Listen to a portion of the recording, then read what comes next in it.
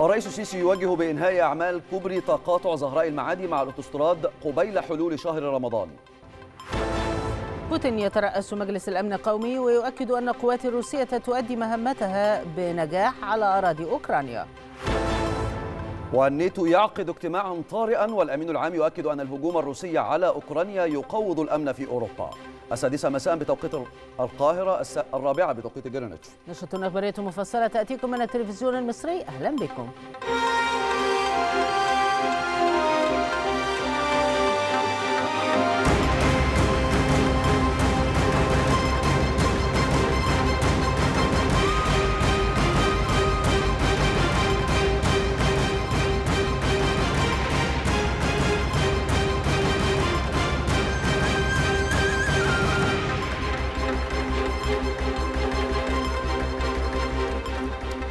وجه الرئيس عبد الفتاح السيسي بسرعة إنهاء أعمال كوبري تقاطع منطقة زهراء المعادي مع الأوتوستراد.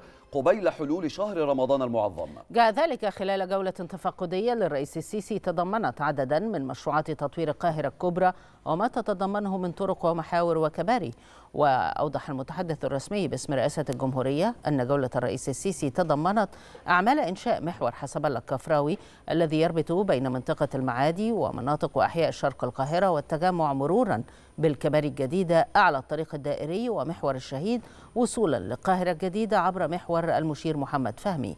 وأضاف متحدث الرئاسة بأن الجولة شملت مشروع الماذا بارك لتطوير منطقة الموقف السابق للنقل الجماعي وتحويل المنطقة إلى مقصد ترفيهي حديث ومتكامل الخدمات. وحرص الرئيس السيسي على التوقف أثناء الجولة التفقدية ليناقش العاملين والمسؤولين في مواقع العمل المختلفة بشأن تفاصيل الخطوات التنفيذية الجارية.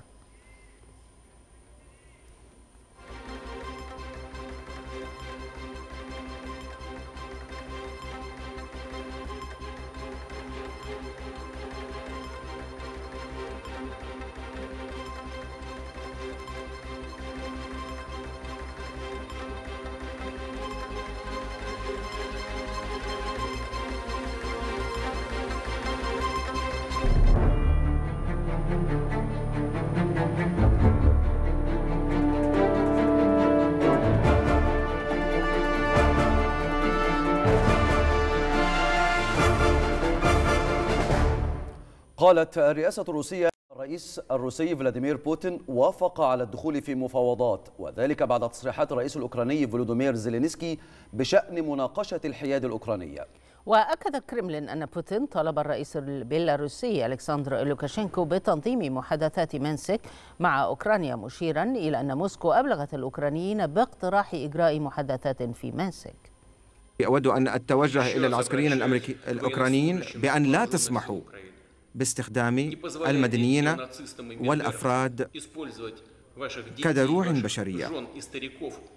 ويرجى منكم إرجاع زمام الأمور في يدكم. ونعرف أن الشعب الأوكراني هو رهينة. وأقيم تقييما عاليا العسكريين الروس الذين ينفذون أوامرهم بكل بسالة وشجاعة. وينفذون الخطط العسكرية الرامية لضمان أمننا وضمان أمن وطننا.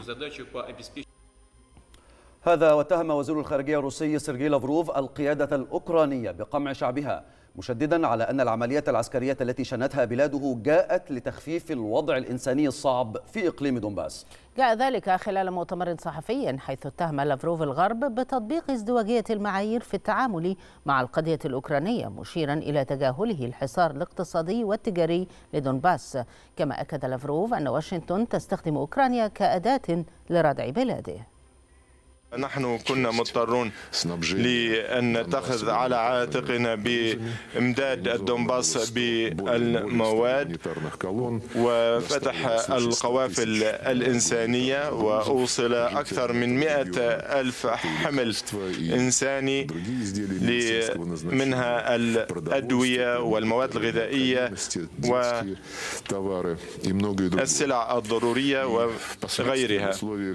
وبالطبع بأنه مع الحفاظ على هذا الحصار غير الإنساني ومع الإهمال الكامل من قبل الدول الغربية وحتى كنا قد اتخذنا إجراءات لتخفيض الوضع الصعب لسكان الدنباس أكدنا على دعمنا لجمهوريتي دونيسك ولوغانسك في سعيهم لتعزيز استقلالهم وحماية حقوقهم. وأول حق هو العيش على هذه الأرض.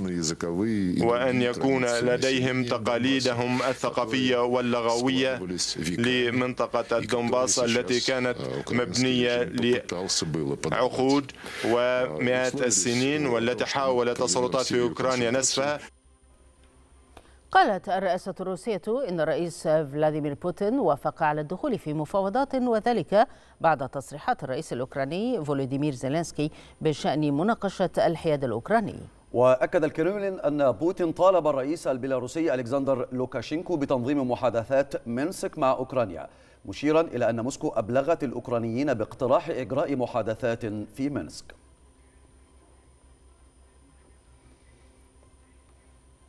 أكدت وزارة الدفاع الروسية أن الجيش الروسي لن يقصف المناطق السكنية في كييف مؤكدا نجاحها في عزل العاصمة الأوكرانية. كما أفادت الدفاع الروسية بسيطرتها على مطار جوستوميل قرب كييف. كانت وزارة الدفاع الروسية قد أوضحت أن روسيا ستنشر مظليين للمساعدة في حراسة منطقة محطة تشيرنوبل للطاقة النووية المغلقة قرب العاصمة الأوكرانية كييف وفي هذا الإطار أكدت موسكو أن القوات الروسية دمرت 118 موقعا للبنية التحتية العسكرية الأوكرانية حتى الآن на полуостров. Все поставленные перед группировками войск Вооруженных сил Российской Федерации на день задачи. أعلنت رئاسة أركان الجيش الأوكراني أن قوات روسية تقترب من كييف من الجهتين الشرقية والشمالية الشرقية في تقدم يضاف إلى الهجوم من الجهة الشمالية التي أعلن, أعلن عنه في وقت سابق.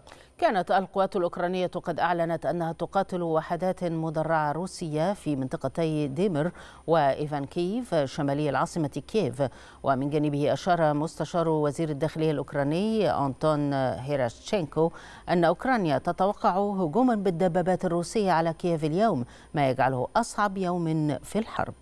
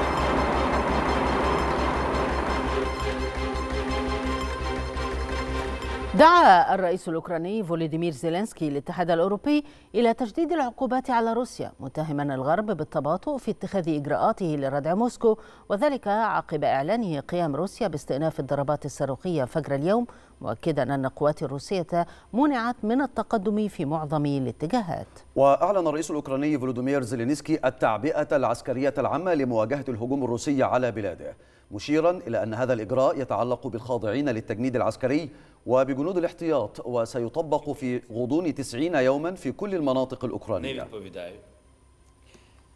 А ми не боїмось. Ми не боїмось нічого. Ми не боїмось, захищаючи нашу державу.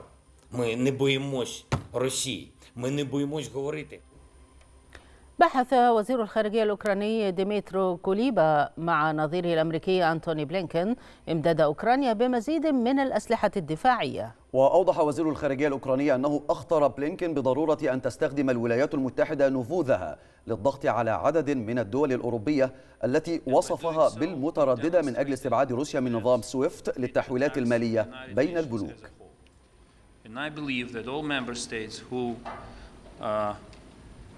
Share the principles of this organization in good faith should stand by Ukraine and should stand by أفادت وكالة رويترز للأنباء في نبأ عاجل أن بريطانيا قالت إن القوات الروسية فتحت طريقا جديدا للتقدم صوب كييف. كما أفادت رويترز أيضا بإصابة سفينة شحن أوكرانية بصاروخ قبالة سواحل أوكرانيا.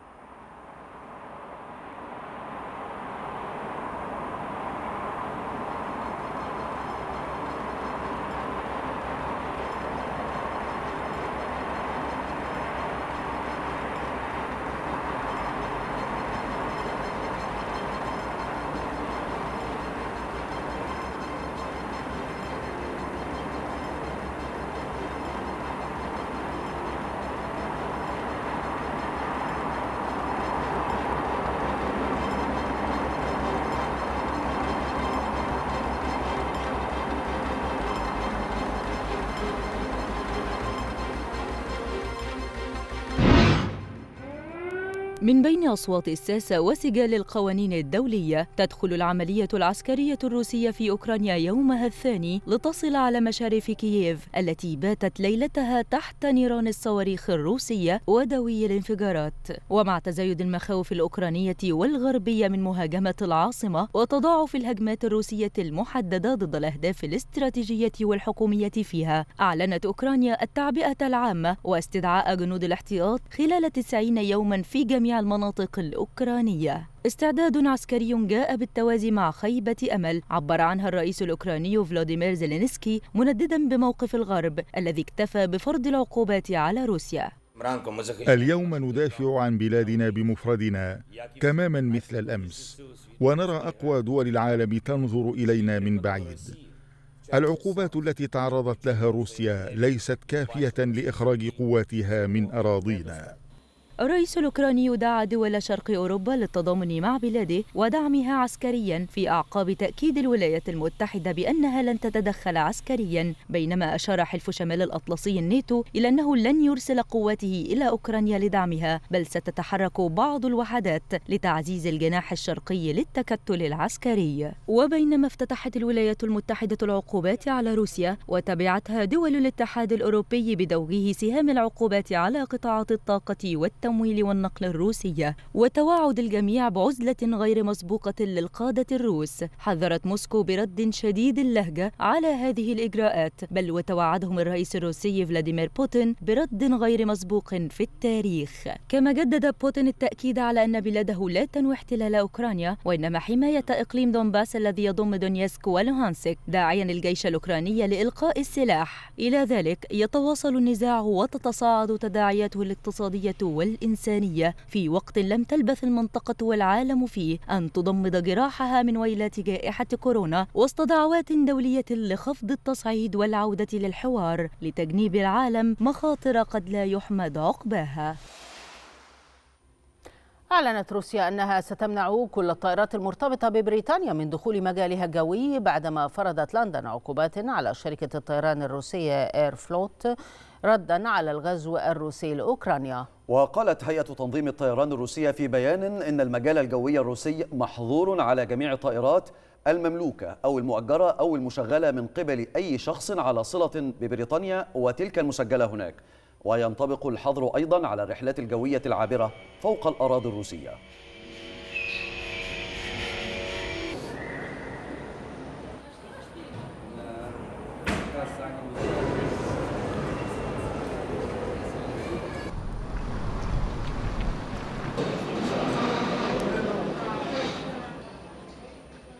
قال الأمين العام لحلف شمال الأطلسي ينس ستولتنبرغ إن الحلف ليس لديه خطط لإرسال أوكرانيا. ويأتي ذلك بعدما أقدمت روسيا على الهجوم على جارتها أوكرانيا وأضاف ستولتنبرغ خلال مؤتمر صحفي عقب اجتماع طارئ لسفراء حلف شمال الأطلسي أنه ليس لديهم قوات من الناتو في أوكرانيا وليس لديهم أي خطط لإرسال قوات من الناتو إلى أوكرانيا.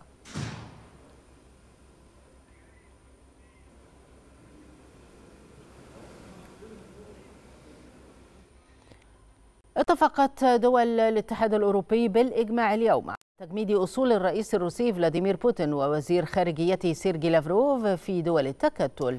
طرح الإجراء خلال قمة أوروبية في بروكسل وأضيف إلى حزمة عقوبات سيفعلها وزراء الخارجية. يأتي ذلك فيما أبدت ألمانيا وإيطاليا تحفظات خلال القمة على هذا الاقتراح الذي دعمه عدد كبير من القادة الأوروبيين. من جانب آخر قرر الأوروبيون إلغاء إمكانية السفر بدون تأشيرات دخول لحاملي جواز السفر الروسي في إطار العقوبات التي تمت المصادقة عليها مساء أمس. European leaders approved tonight clearly demonstrates that. It will have maximum impact on the Russian أعلن الأمين العام للأمم المتحدة أنطونيو غوتيريش أن المنظمة الدولية أفرجت عن 20 مليون دولار مساعدات إنسانية طارئة لأوكرانيا والدول المجاورة. ودعا غوتيريش من جديد الرئيس الروسي فلاديمير بوتين إلى وقف هجومه العسكري على هذا البلد. وقال غوتيريش خلال اجتماع إن الأمم المتحدة تكثف عملياتها الإنسانية في أوكرانيا وحولها وأضاف أنهم سيخصصون على الفور 20 مليون دولار من صندوق مواجهة الأزمات من أجل تلبية الاحتياجات العاجلة وأكد أنه سيتم توزيع هذه المساعدات بطريقة محايدة وغير منحازة.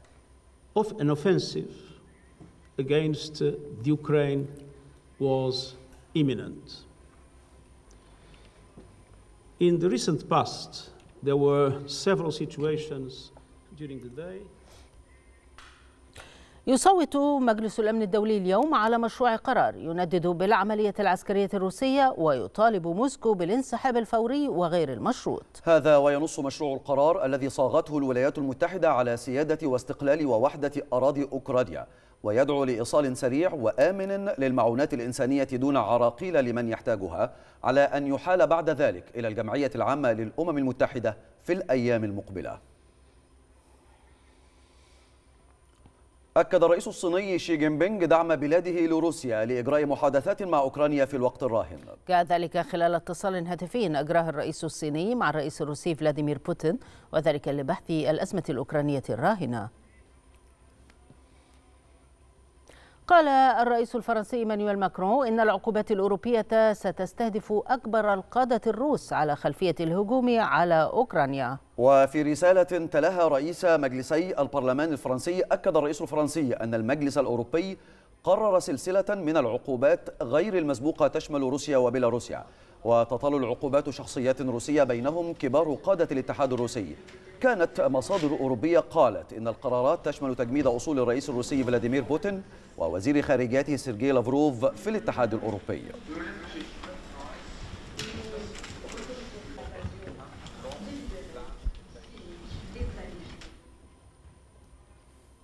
أعرب وزير الخارجية الفرنسي جون إيف لودريان عن قلق بلاده على سلامة الرئيس الأوكراني فولوديمير زيلينسكي مؤكدا استعداد فرنسا لمساعدته إذا لزم الأمر كما اتهم لودريان الرئيس الروسي فلاديمير بوتين بمحاولة تدمير أوكرانيا مشيرا إلى أن فرنسا قلقة أيضا من هجوم عسكري روسي محتمل ضد مولدوفا وجورجيا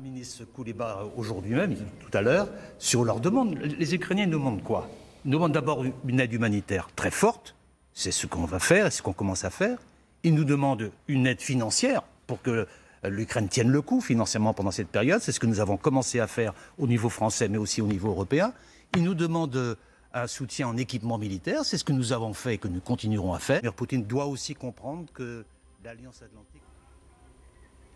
أعلنت رئاسة الحكومة البريطانية أن رئيس الوزراء البريطاني بوريس جونسون وعد الرئيس الأوكراني فولوديمير زيلينسكي خلال مكالمة هاتفية بتعزيز الدعم البريطاني لأوكرانيا بعد استهداف روسيا العاصمة كييف. وفي بيان للحكومة البريطانية أكد جونسون لزيلينسكي أن العالم متحد في خوفه ضد ما يفعله الرئيس الروسي فلاديمير بوتين وتعهد بتقديم دعم إضافي لأوكرانيا في الأيام المقبلة بدون تحديد طبيعة هذا الدعم. من جانبه أكد وزير الدفاع البريطاني بن والاس رغبة بلاده في عزل روسيا عن نظام سويفت للمدفوعات العالمية بين البنوك. بدوره أعرب المدير العام لمنظمة الصحة العالمية تيدروس أدهانوم عن قلقه البالغ إزاء الوضع الصحي في أوكرانيا. في ظل الأزمة المتصاعدة هناك. وفي بيان قال أدهانوم إن النظام الصحي يجب أن يستمر في العمل لتقديم الرعاية الأساسية للأشخاص من المصابين بفيروس كورونا أو السرطان والسكري والسل إضافة إلى قضايا الصحة العقلية وخاصة للفئات الضعيفة مثل كبار السن والمهاجرين. وشدد مدير عام المنظمة الدولية على ضرورة توخي أقصى درجات العناية من قبل جميع الأطراف لضمان عدم استهداف المرافق الصحية والعاملين والمرضى ووسائل النقل والإمدادات.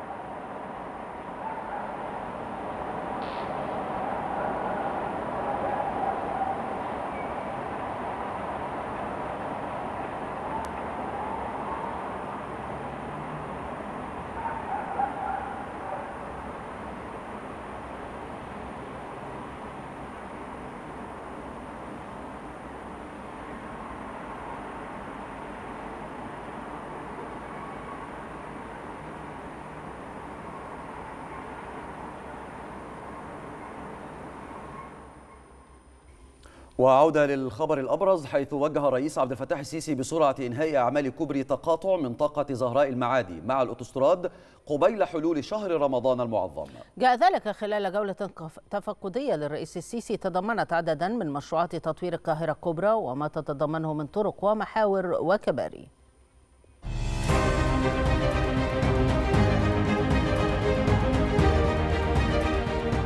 تفقد السيد الرئيس عبد الفتاح السيسي أعمال إنشاء محور حسب الله الكفراوي الذي يربط بين جنوب القاهرة منطقة المعادي بمناطق وأحياء شرق القاهرة والتجمع مرورا بالكباري الجديدة على الطريق الدائري ومحور الشهيد وصولا للقاهرة الجديدة عبر محور المشير محمد فهمي.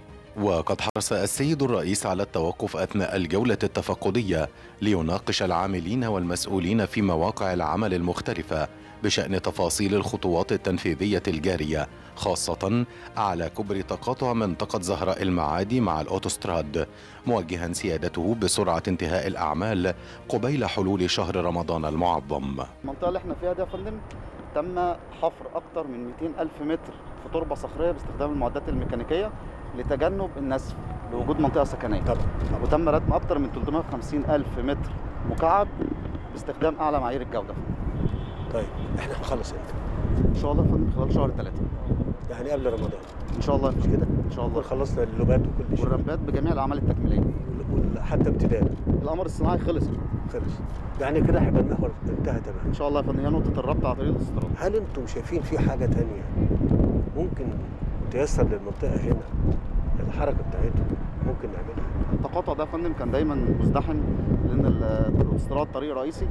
مع دخل الزهراء المعادي وحي المعادي. فاحنا دلوقتي يا فندم قدرنا نحرر الحركة تماما طيب أنا بتكلم بقى على المنطقة دي كلها. تمام سيادة هل في حتة أو في حركة تانية محتاجة مننا نوسع المحاور آه، نزود حاره ولا حارتين أو نزود كباري نحرر الحركة فيها بحيث إن الحركة أنا أنت كده أنا بتكلم الحركة العمودية اللي على هنا. تمام على كل حال. تمام أنا بقول لك الكلام ده عشان لو لو كان ده مجال انك أنتوا تفكروا فيه فكروا ندرسها يا فندم ويتم العرض على بس كده تمام حاجة تاني تمام شكرا المتحدث الرسمي باسم رئاسة الجمهورية صرح بأن الجولة التفقدية للسيد الرئيس تضمنت عددا من مشروعات تطوير القاهرة الكبرى وقد حرص السيد الرئيس على التوقف أثناء الجولة التفقدية ليناقش العاملين والمسؤولين في مواقع العمل المختلفة بشأن تفاصيل الخطوات التنفيذية الجارية.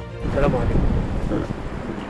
محور حسابات كفراوي بيبدأ من صينية القمر الصناعي. مرورا بتقاطعه مع محور الاستراد ومرورا بمنطقة زهراء المعادي. ويتقاطع مع محور الطريق الدائري على الكوبري اللي سيادتك مشرفنا عليه يا فندم. وبينتهي عند نفق الأسمرات يا فندم. المحور ده يا فندم بياخد القادم من مناطق جنوب القاهرة والقادم من حلوان وطريق السيد الحر.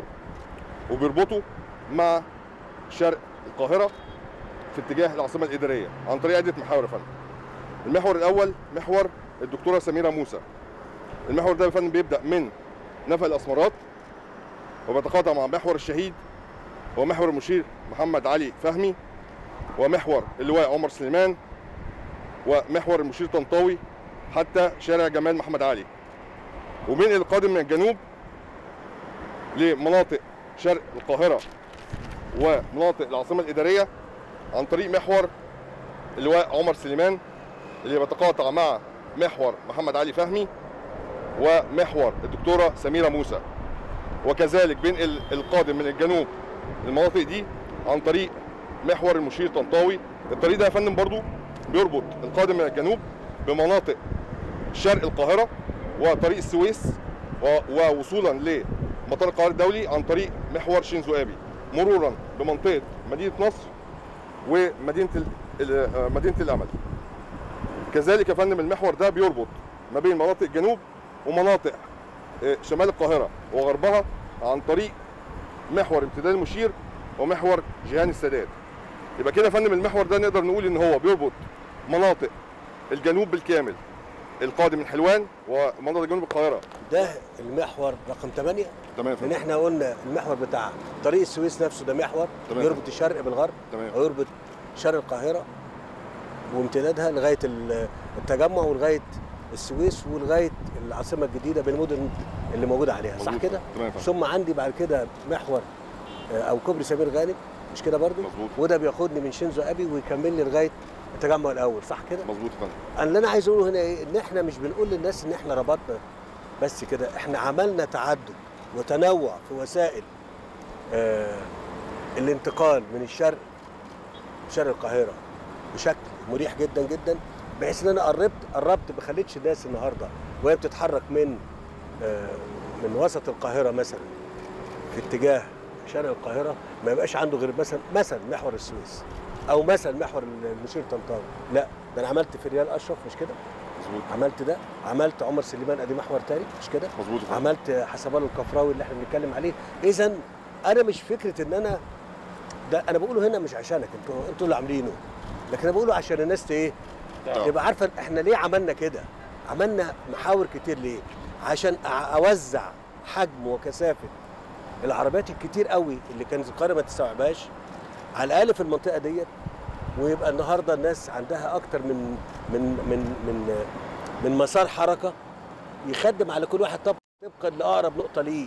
أقرب أقرب حاجة للسكن بتاعه أو للعمل بتاعه.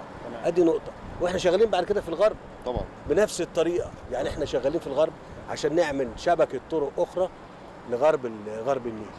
يبقى أو غرب القاهرة إن شئتوا تسموها كده. أنتوا هنا المفروض هتعملوا حاجة توصلكم لغاية صلاح سالم. من فوق النفق هنطلع على الوصلة بتاعت المقطم على الجبل أيوه فندم. ونوصل لغاية نعدي المقطم نفسه. مش كده يا فندم؟ أيوه ونوصل بيه لغاية صلاح سالم مظبوط يا فندم. في كوبري هيتعمل في الصينية يا فندم اللي عند شارع تسعة. تمام. المهم أنتوا اللي شغالين في ده. مش كده؟ إمتى ميعادنا؟ إحنا لسه فندم سيادتك عيننا امبارح. في التصميمات والكلام ده. لكن أنتوا قدامكم بعد التصميم توصل لكم ثلاث شهور. تمام كتير؟ تمام يا فندم. إن شاء الله مش كتير. ولا قليل؟ بصراحة. كتير. يعني إن شاء الله يا فندم إحنا أنا عايز أقول لك على حاجة. أنتوا شفتوا الموضوع ده بيعمل إيه في الناس؟ طبعا. بيفرج عليهم؟ أيوه طبعا. بيوفر لهم وقود؟ طبعا. مش كده؟ طبعا. بيريحهم؟ طبعا. طيب أنت عايز توريني إيه؟ بننفذ يا فندم الأعمال الصناعية على المحاور الرئيسية لتحرير التقاطعات يا فندم. على ال- المحاور. محور سيادتك حسب الله الكفراوي إحنا نفذنا عليه يا فندم. 6 كوبري ونفق تم تنفيذ كوبري أعلى الاوتوستراد يا فندم وده بيحقق ربط كامل مع آه، طريق الاوتوستراد ثم تم تنفيذ يا فندم ثلاث أعمال صناعية نفق واثنين كوبري لتحرير الحركة مع الطرق الداخلية بمنطقة زهراء زهراء المعادي يا فندم. ثم تم تنفيذ كوبري اللي هو حسب الله الكفراوي اللي سيادتك مشرفنا عليه يا فندم أعلى الطريق الدايري. لربط المحور بالطريق الدايري وسيادتك تم تنفيذ نفق الاسمرات لتحرير الحركة مع المتجه يا فندم لمحور الدكتورة سميرة موسى ومحور عمر سليمان ومناطق ال- المقطم. آه، سيادتك محور آه، الدكتورة سميرة موسى فندم ده عليه أربع كباري يا فندم. في كوبري بيحرر الحركة مع محور الشهيد وده بالفعل يا فندم منفذ وجاري آه، العمل بثلاث بثلاث كباري. محور المشير محمد علي فهمي ومحور عمر سليمان ومحور المشير طنطاوي. وسيادتك الكوبري اللي على محور المشير طنطاوي ده يا فندم آه، يعني هيوصل ارتفاعه لحد آه، أكتر من 25 متر وهيعدي أعلى المونوريل وتم التنسيق مع الهيئة القومية لل- للأنفاق يا فندم. اللي هو عند المنارة. اللي عند المنارة سيادتك تمام. وفي سيادتك آه، محور عمر سليمان يا فندم اتنفذ. آه، وسيادتك ال- آه، محور الدكتورة سميرة موسى فندم. هيوصل لحد شارع جمال محمد علي لحد كوبري البطلة في ريال يا فندم أعلى الطريق الدائري يبقى إحنا كده ربطنا المحور بمناطق القاهرة الجديدة ومنها للعاصمة يعني انت الإدارية. أنت عملت محور موازي للدايري بالظبط يا مش فندم كده؟ بالظبط يا فندم. وده اللي إحنا عايزين نقوله للناس إن إحنا مش هنكتفي بس بالدايري ممكن نتحرك عليه. الناس اللي متحركة ممكن تروح داخلة تعدي الكباري ديت وتمشي موازي لطريق دون المرور بالطريق الدائري يا فندم. ماشي. آه، في سيادتك محور عمر سليمان يا فندم ده متنفذ يا فندم آه، بالفعل ومتنفذ عليه ثلاث أعمال صناعية. شوف ده آخر محور اللي إحنا كنا بنتكلم فيه.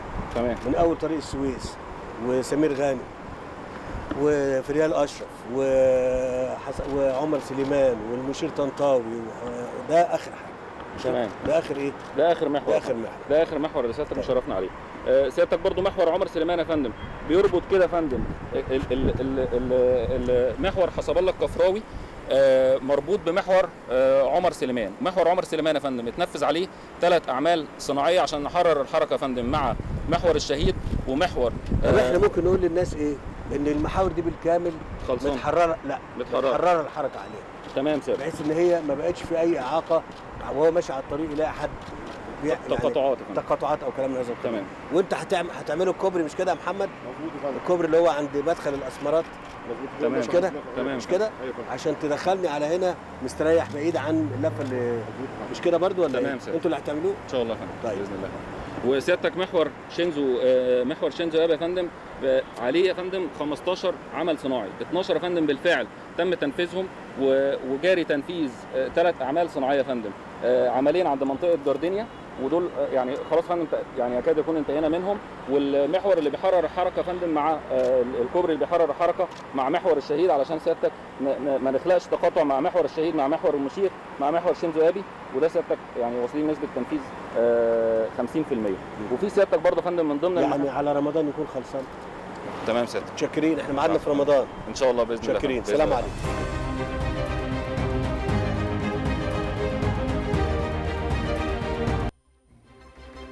السادسة مستمرة وتتابعون فيها.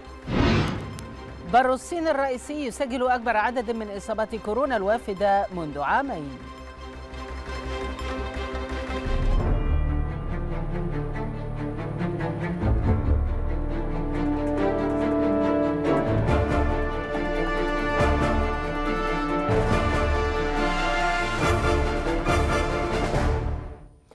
سجلت الصين أعلى عدد يومي من حالات الإصابة بفيروس كورونا الوافدة من خارج البر الرئيسي منذ ما يقرب من عامين وكانت معظم الإصابات من هونغ كونغ التي تكافح موجة من العدوى. وأوضحت اللجنة الوطنية للصحة الصينية أن البر الرئيسي رصد 142 حالة وافدة عليها أعراض إصابة مؤكدة.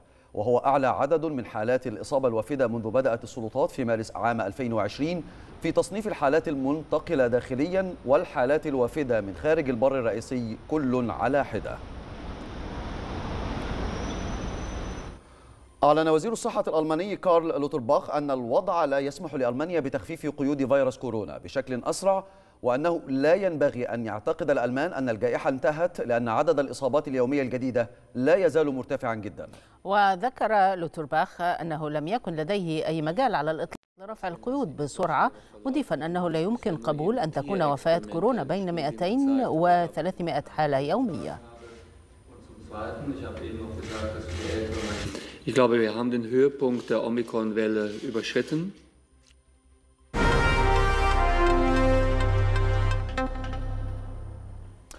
هنأت القيادة العامة للقوات المسلحة الرئيس عبد الفتاح السيسي والإمام الأكبر شيخ الأزهر ومفتي الجمهورية ووزير الأوقاف وجموع الشعب المصري بمناسبة ذكرى ليلة الإسراء والمعراج.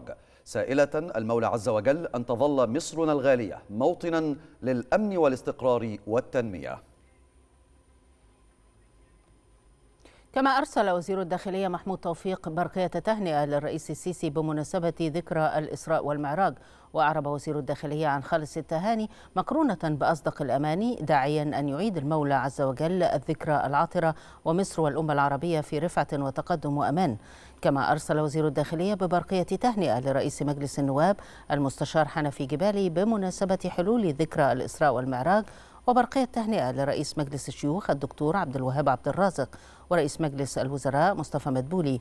هذا وأرسل وزير الداخلية برقية تهاني للإمام الأكبر شيخ الأزهر الدكتور أحمد الطيب ومفتي الجمهورية الدكتور شوقي علام وبرقية تهنئة للقيادات والعاملين المدنيين راجيا المولى تعالى أن يعيد علينا هذه الأيام الطيبة على مصر والأمة العربية بالتقدم والرفعة والازدهار. أكد وزير الاتصالات عمرو طلعت أن الوزارة تحرص على إتاحة فرص تعلم مرنة ومتنوعة وإعداد جيل من العمالة الفنية يتمتع بمهارات متطورة في مجال الاتصالات وتكنولوجيا المعلومات. وخلال توقيع بروتوكول تعاون بين الشركة المصرية للاتصالات وشركة IBM لتنمية المهارات أكد وزير الاتصالات أن البروتوكول يهدف إلى الاستفادة من الخبرات الكبيرة للشركة العالمية في تأهيل طلاب مدارس WE للتكنولوجيا التطبيقية ومشيرا إلى أنه تم تطوير وتحويل عدد ست مدارس فنية إلى مدارس تكنولوجية تطبيقية متخصصة في مجال الاتصالات وتكنولوجيا المعلومات بالمحافظات المختلفة.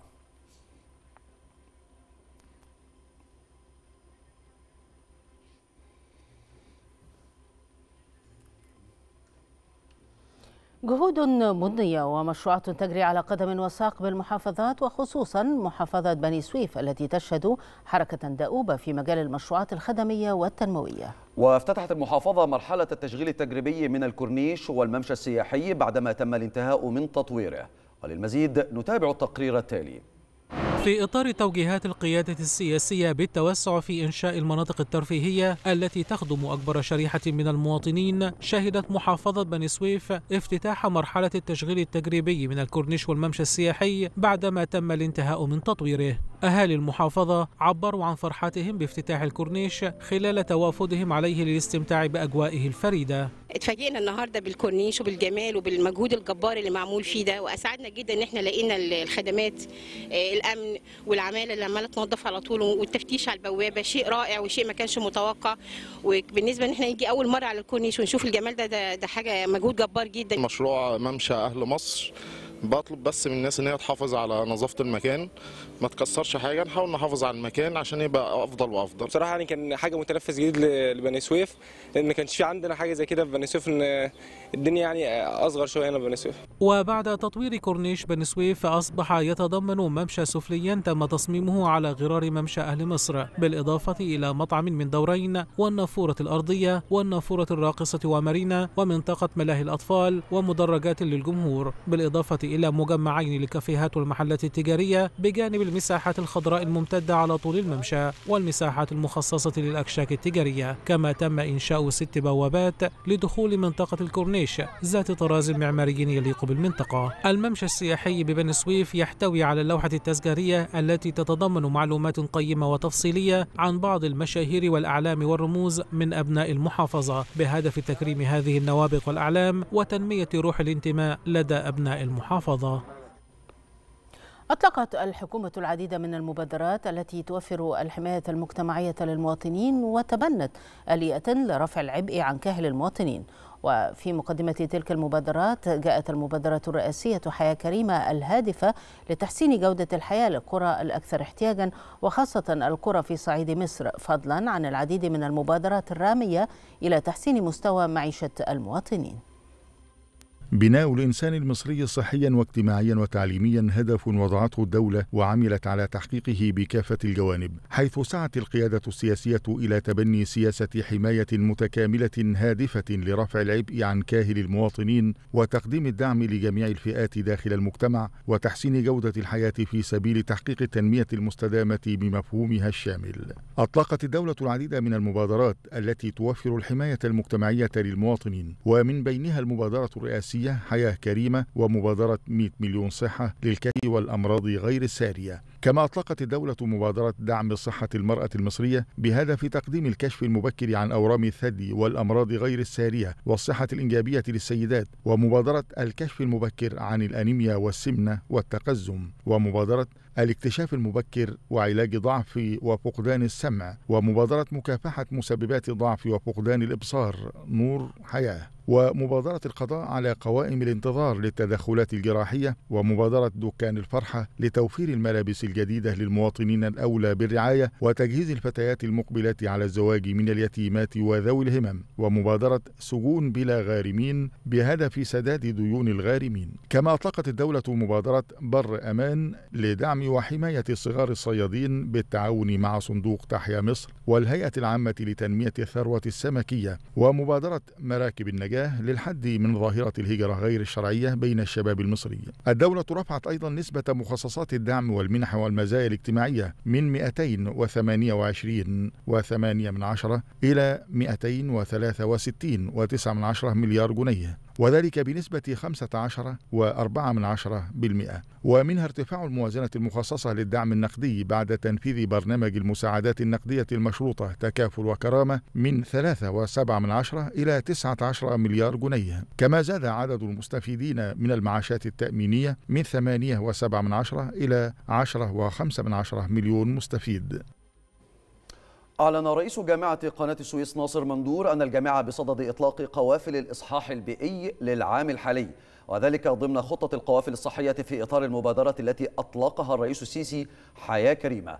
وأضاف رئيس جامعة قناة السويس أن هذه القوافل تقدم خدماتها سواء بإجراء الكشف أو تقديم الأدوية والعلاج بالمجان. أهلا بحضراتكم. إن شاء الله يوم 28 هتبدأ موسم القوافل. الطبية والبيئية والصحي البيئي والقوافل دي غالبا هتكون قوافل بعضها شاملة وبعضها متخصصة يوم 28 إن شاء الله هتنطلق أولى هذه القوافل إلى منطقة السبع أبار في منطقة الاسماعيليه لمساعدة أهالينا في جميع في جميع النواحي المتعلقة بحياتهم بعد كده في قوافل متعددة في أبو صوير وانطره شرق وانطره غرب وجميع مناطق الإسماعيلية بالإضافة إلى جنوب وشمال سيناء وبعض القوافل في منطقة في محافظة السويس ومنطقة بورسعيد.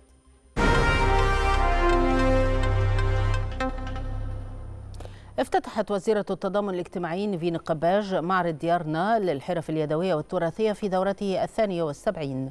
ويستضيف المعرض الذي تنظمه وزارة التضامن الاجتماعي كأكبر وأقدم معرض للحرف اليدوية في مصر تحت شعار مصر بتتكلم حرفي. نحو تقديم المزيد من الدعم للصناعات الصغيرة ومتناهية الصغر والمساهمة في التمكين الاقتصادي للأسر. افتتحت وزارة التضامن الاجتماعي معرض ديارنا للحرف اليدوية في دورته الثانية والسبعين تحت شعار مصر بتتكلم حرفي. إحنا عندنا أكتر العارضين موجودين طبعا من محافظات مختلفة لكن في جزء كبير من أسوان والنوبة المرة دي في أيضا استضافة لعشر باكيات لأولادنا من ذوي الإعاقة. في أيضا ثمان باكيات صديقة للبيئة في تمثيل للوزارات الشريكة ومعانا وزارة الشباب والثقافة والجهاز تنمية المشروعات والمجلس القومي للمرأة والسياحة. يعني هكذا عهدنا إن إحنا نعمل نحاول نعمل معرض واحد قدر المستطاع. المعرض مبني على مساحة 3200 متر وبيضم 355 عارض وعارضة من محافظات الجمهورية المختلفة. المعرض يساهم في تحريك الاقتصاد المحلي من خلال فتح أسواق جديدة بمنتجات متنوعة من خامات بيئية ورشيدة في سعرها بمشاركة عارضين من أغلب المحافظات. مشاركة في معرض ديارنا لأول مرة آه، منتجات وجبات شركة نوبتي للوجبات التراثية والمنتجات الأسوانية آه، مشاركة في المعرض بالمخبوزات النوبية آه، والمواسم والأفراح ومربى الكركديه. جزيل الشكر لكل الجهات المعنية بالمعرض ده لأنه المعرض ده يعتبر البيئة الخصبه الجميلة اللي بنقدر نعرض بيها منتجاتنا ونعرض حاجتنا ال hand made اللي ما بنقدرش نسوقها فيعني تعتبر هي البيئة الخصبه لل marketing كله. معرض ديارنا من المعارض المهمة جدا في مجال الحرف التقليدية ومجال رعاية والتنمية التقليدية وأهم شيء في في في الحرفة هو إزاي تسوق المنتج ده. فطبعا هو وزارة التضامن بتقوم بالدور ده بشكل مهم جدا. من خلال تنظيمها للمعرض ده يمكن إحنا شايفين التنظيم تقريبا بيحتوي على كل الحرف وكل المنتجات اليدوية ومن من كافة محافظات مصر. تنظيم المعرض ياتي لحرص وزارة التضامن على إقامة 25 معرضا خلال هذا العام لتحفيز المشروعات الجماعية ودعم الوحدات الإنتاجية. افتتح محافظ شمال سيناء محمد عبد الفضيل شوشة وحدة العلاج الكيماوي وأمراض الدم بمستشفى العريش العام وأشار شوشة إلى تطوير مستشفى العريش العام خلال الفترة الماضية بقيمة 134 مليون جنيه حيث تم استحداث قسم القسطرة القلبية والرنين وقسم الاستقبال والطوارئ وقسم النساء والولادة وجراحات اليوم الواحد والعلاج الكيماوي كمرحلة أولى وجاري إنشاء مبنى الغسيل الكلوي بقيمة 128 مليون جنيه. وأضاف محافظ شمال سيناء إلى أن وحدة العلاج الكيماوي ستخدم نحو 700 مريض يتكبدون مشقة السفر للعلاج في المحافظات الأخرى.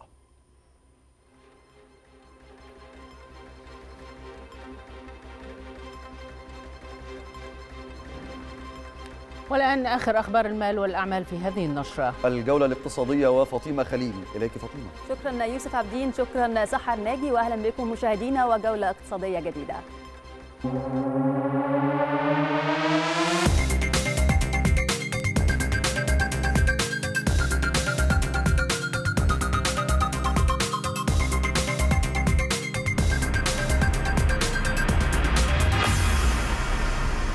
نفى المركز الإعلامي لمجلس الوزراء ما تردد من أنباء بشأن وجود أزمة سيولة تضرب القطاع المصرفي المصري ما يهدد بتعرض الدولة للإفلاس.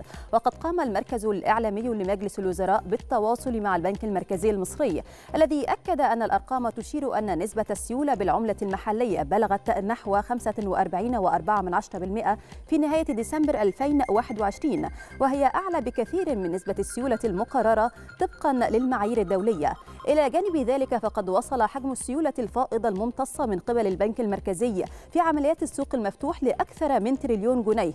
كل ذلك يدل على صلابة ومتانة الجهاز المصرفي.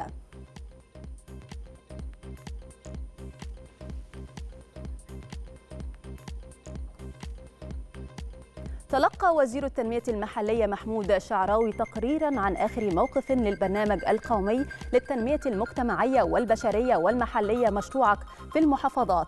وأكد شعراوي أن مشروعك نفذ حوالي 1500 مشروع صغير ومتوسط خلال شهر يناير من العام الحالي بإجمالي قروض تصل إلى 300 مليون جنيه.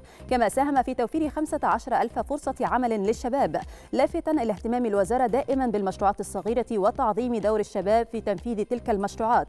باعتبارهم الأكثر المجتمع وباعتبارهم قوة اقتصادية هائلة. ولا بد للمجتمع أن يستفيد منها في التنمية الشاملة لكافة المجالات المختلفة لضمان النجاح والتقدم وتحقيق رخاء الاقتصادية.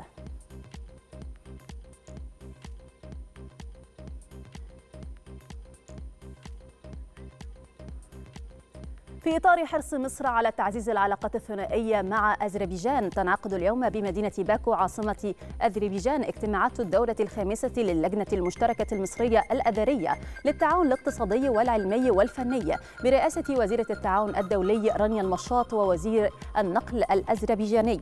يأتي انعقاد الدورة الخامسة للجنة المشتركة في ضوء العلاقات الثنائية المتميزة بين البلدين في كافة المجالات وخاصة علاقات التعاون الاقتصادي والعلمي والفني. ومن المقرر المقرر أن يتم عقد عدة لقاءات ثنائية بين وزيرة التعاون الدولي وعدد من المسؤولين من دولة أذربيجان.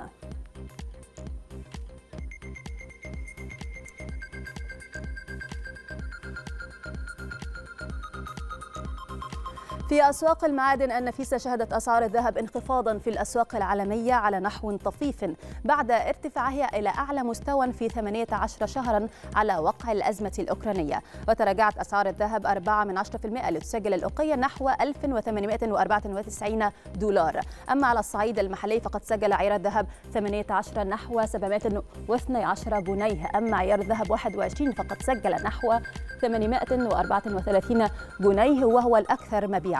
في حين وصل عيار الذهب 24 إلى 947 جنيه. أما بالنسبة للسعر الجنيه الذهب فوصل سعره إلى 6672 جنيه. قالت مصادر في أوبك بلس إن اتفاقا بين منتجي النفط في التكتل. بما في ذلك روسيا لم يطرأ عليه أي تغيير حتى الآن بعد الهجوم الروسي لأوكرانيا. ومن المرجح أن تلتزم المنظمة بزيادة الإنتاج المزمعة في اجتماع الأسبوع المقبل على الرغم من تجاوز سعر النفط حاجز المائة دولار للبرميل. وتجتمع منظمة البلدان المصدرة للبترول أوبك وحلفاؤها وهو التكتل المعروف باسم أوبك بلس. في الثاني من مارس المقبل لاتخاذ قرار بشأن ما إذا كان كانت ستزيد الإنتاج بمقدار 400 ألف برميل يوميا في أبريل.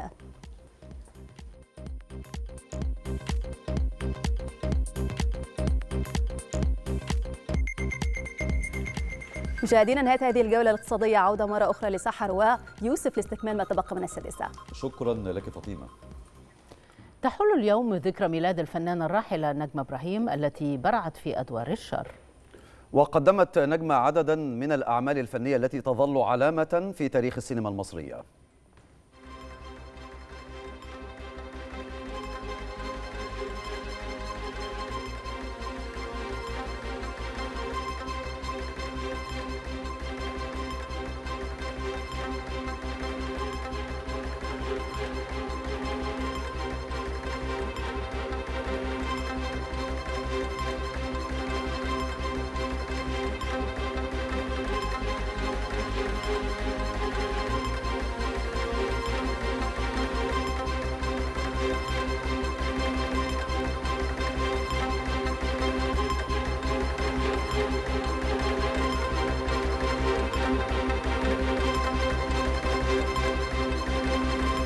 انتهت أخبارنا وبقي التذكير بأهم ما جاء فيها.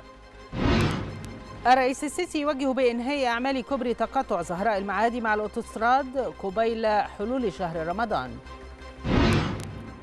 بوتين يترأس مجلس الأمن القومي ويؤكد أن القوات الروسية تؤدي مهمتها بنجاح على أراضي أوكرانيا. الناتو يعقد اجتماعا طارئا والأمين العام يؤكد أن الهجوم الروسي على أوكرانيا يقوض الأمن في أوروبا.